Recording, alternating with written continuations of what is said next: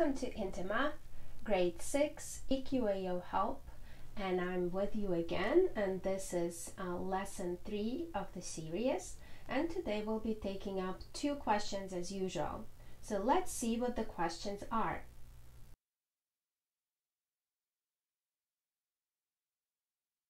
So in this question, we're comparing the prices at the two stores. When we're given the number of units, the number of something, in this case flags, and the total price for a certain amount of flags, in order for us to compare the two deals, we need to find the price per unit. So in this case, I would need to divide $6.95 by 5 for store A and divide $4.80 by 3 for store B.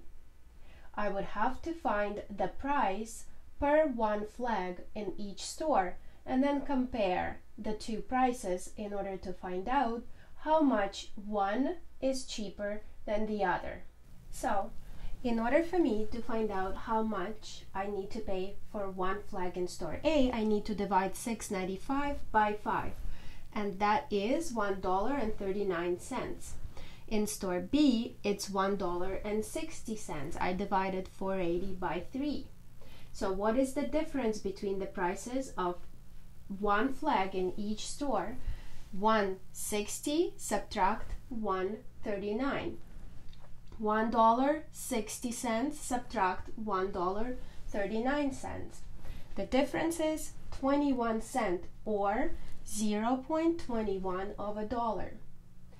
In order for you to get full marks for this question, you need to show every single step in your solution since this is an open response question. Let's move on to the next problem.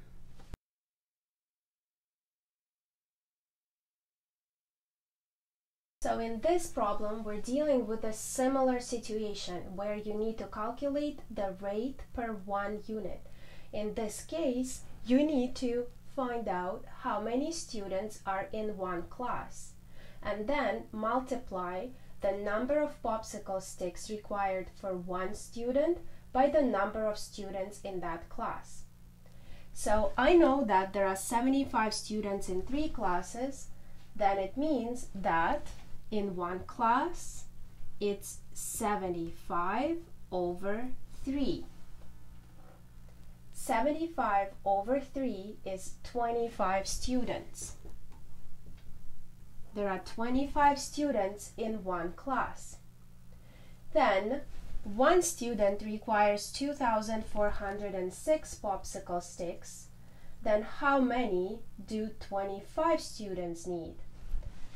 25 times 2,406. You can do vertical multiplication in this case if you do not have a calculator on you.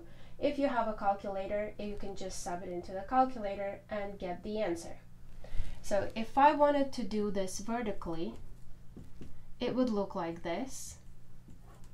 And then I would multiply in order considering the place value. So once you multiply, you will get 60,150 popsicle sticks per one class.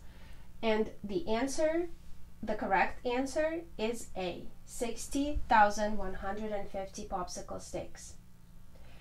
This is it for today. Thank you very much for being with me again, and I hope you learned something. Uh, next time, we're working on another two questions, and we'll continue on every Tuesday. So join us uh, every Tuesday for the new lesson. Do not forget to subscribe not to miss any lessons so you'll receive reminders about the upcoming uh, videos. Uh, also, uh, follow us on Facebook, Twitter, Instagram, and everywhere else. And don't forget to visit our website www.intomath.org for more practice. Improve your math with us. See ya!